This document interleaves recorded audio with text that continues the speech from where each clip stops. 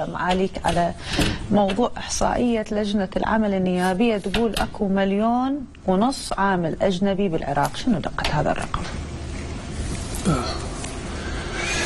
ما لا لجنة العمل ولا إحنا ولا حتى يمكن الجهات الرسمية الأخرى بوزارة الداخلية لديها رقم محدد بال شلون يصير دخولهم؟ بالعاملين الأجانب بالعراق شلون يصير دخولهم؟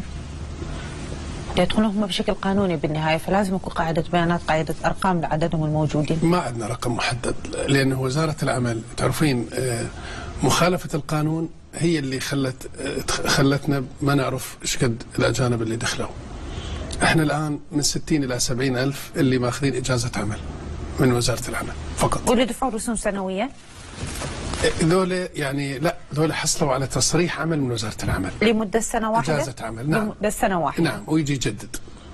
اي بالتجديد أكو رسوم. أكو رسوم أكيد. يعني أعتقد جو الرقم هذا يمكن 67 ألف. هذول الأصوليين دول الماشيين موجودين. أصوليين داخلين أي اصوليين جنسيات نقدر نقول الأغلبية منهم؟ اغلبيه بنغاليين. بنغاليين. وفلبين.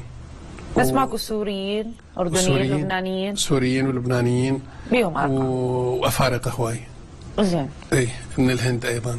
زين. هذول بدنا نتحدث عنهم نسبة جيدة لكن الباقيين الموجودين على أرض. الباقين هذا الرقم أعتقد مبالغ به ما يوجد مليون ونص. هاي هي لج- اللجنه البرلمانية لجنة تقول. العمل هي هي تنطي أرقام تقديرية. يعني ما أعتقد عندهم رقم محدد وما أعرف شنو مصدر معلومتهم لأن إحنا ما عندنا ما عندنا يعني قاعدة بيانات فقط اللي مراجعين الوزاره ليش صلاحيات موضوع إعطاء ال- الرخصة للعامل بالدخول للأرض العراقية كانت عند الداخلية؟ أتصور اليوم بأمانة مجلس الوزراء الأمانة العامة. موافقه لا لا لا لا. وين هسه الموافقه لا, من؟ هذا هذا الموضوع ملف يخص وزارة الداخلية دائرة الإقامة تحديدا. سابقا؟ لا لا لا ما يخص الأمانة العامة. هذا قانون. موافقة تدخل أعداد العماله الدخول؟ منح سمه الدخول؟ عن طريق وزارة الداخلية. ووزاره العمل شنو دورها؟ وزارة العمل يفترض القانون نص على هذا. قانون العمل مادة 30 المفروض الأجانب ما يدخلون العراق إذا ما يحصلون على تصريح عمل اللي جاي يشتغل. فإحنا نشدد بمنح تصريح العمل. ليش؟ لأنه عندنا عاطلين عن العمل أساسا. المفروض العراقي أولا. أنا أحكي عن الموافقة من الأساس مو المفروض تيجي من وزارة العمل بعدها تذهب للداخلية لإعطاء الإقامة. هذا هذا يعني أنا عايشة ب- يعني مقيمة بأكثر من بلد. قانونا أذهب لوزارة العمل أستحصل الموافقة بعدها أروح للداخلية أستحصل اقامه الداخلية. بالبلد اللي أنا متواجدة به نعم. لكوني أمارس مهنة الإعلام. وهذا اللي نص عليه القانون. قانون طيب ليش إحنا. هنا. بالعكس نشتغل إحنا هنا أنت تخلقين لي مشاكل. يعني. وأنا واقعية كلش صريحة كلش. يعني يعني هسه أضرب مثل بنفسي. نعم. لأن أنا أعرف من أمارس مهنة الإعلام بأي دولة هذا الإجراء. عاد عماله دي يدخلون ببلد. وأنا لازم أحكي على هواي جهات يعني من, من أتكلم بهذا الموضوع. يعني دائرة الاقامه بوزارة الداخلية. خلت تنفذ القانون.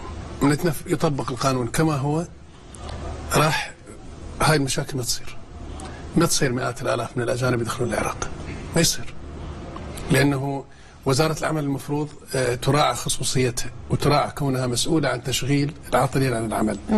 فمن يدخل الأجنبي بدون المرور بوزارة العمل فراح يصبح, يصبح ال- ال- الدخول إلى العراق متاح للجميع وبلا وأصبح ضوابط. متاح للجميع. وبلا ضوابط. وأصبح متاح للجميع. نعم. وكثير منهم إحنا اليوم بدنا نتحدث إنه ما يمتلكون إقامات. الآن- وبالتالي بعيدين عن وزارتكم الآن روحي إلى آه، يعني آه، مطاعم مثلا الفنادق الكبيرة السوبر ماركت الأماكن حتى بالمنازل حتى إيش تلقين يعني؟ تلقين اجانب مو؟ دقق على الإقامة مالته تلقينا ما متجاوز صار. له سنوات يجوز. وماكو لجان تطلع وماكو- عليهم. وماكو- فلهذا ماكو خوف بالنهاية. يعني هو هذا الموضوع جدا بسيط. هو فقط طبق القانون كما هو. ما, ما يحتاج أي شيء آخر. من يطبق القانون إحنا في في مأمن الجميع. راح ما يدخل أجنبي اذا مو عنده تصريح عمل. اولا إحنا نستفيد مرتين. نستفيد إيرادات. تغذي وزارتكم بدون ما تحتاجون بعد تخصيصات مالية؟ ونستفيد آه، نحد من البطالة. باعتبار هاي فرصة العمل. اني هسه المفروض السياقات المتبعة آه، دائرة العمل والتدريب. المفروض ترجع علما القاعدة بياناتها مثلا يطلبون من عندي واحد يشتغل على الحاسبة أو مبرمج مثلا أو عامل نظافة أو شهادة عليا. المفروض إحنا ما نعطي تصريح عمل. زين؟ إذا كان قاعدة البيانات أكو عراقي موجودة بهاي المؤهلات. ما يحتاج. فتاة الم... بهاي المؤهلات. قول شنو شنو العراقي يقل كفاءة عن الأيادي اللي تستخدم من الخارج؟ بكل جنسياتهم. منو قال يقل كفاءة؟ أنا أسألك. ليش يعني- ليش أكو نظرة على العراق إنه أقل كفاءة لا مو من أقل العامل كفاءة. الأجنبي؟ لا, لا لا مو أقل كفاءة. يعني خلينا نكون واقعيين. يعني المشاريع الكبيرة خلينا نقول في مجال الكهرباء في المجال النفطي نحتاج إلى خبرة أجنبية. قد مرات أحيانا مجال الصحة مثلا آه، حتى التعليم نحتاج إلى خبرات. لكن الخبرات إيش قد نسبتهم المئوية؟ انت هسه من تبنين مشروع. مشروع عملاق مثلا. إيش قد تحتاجين؟ نسبة خبرة أجنبية. نسبة مو 100% أو 90% خلينا نقول نحتاج 5% أو 10% والباقي عراقيين موجودين. حتى على مستوى الخبراء أيضا أكو خبراء عراقيين. ولديهم مؤهلات. لكن هسه نطعمهم خبرة أجنبية في مجال النفط مجال الكهرباء مجال ممكن.